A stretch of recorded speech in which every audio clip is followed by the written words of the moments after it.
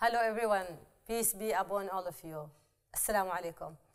As we prepare together for the Nobel Prize Teacher Summit, I want to express how happy and honored I am to be joining hundreds of distinguished teachers, top scientists, and peace activists from around the world to discuss the great importance of education and its crucial role in progress. On a personal level, education has been the driving force behind my own journey, empowering me to become an advocate for change and a voice for those whose voices are often silenced.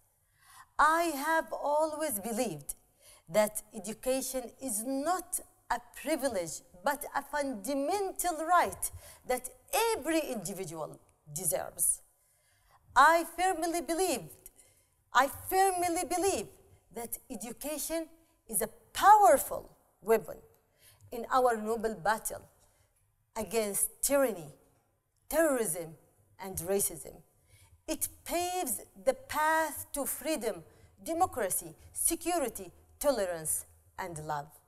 Through education, we have the power to, to break these cycles of poverty, inequality, and injustice. Through education, we nurture empathy, promote understanding, love, and peace.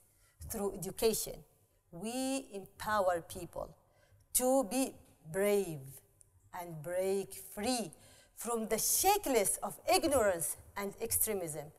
This enables them to actively contribute to the various fields of development in their communities and the world. And through prioritizing engagement in education, we open doors to endless progress. We empower students and teachers to work together to discover their passions, embrace freedom, and fearlessly take on challenges, as well as think critically.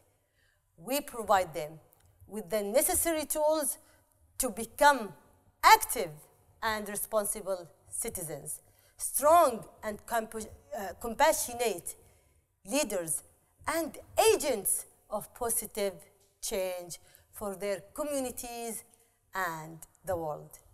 Thank you, and I look forward to seeing you soon at the summit.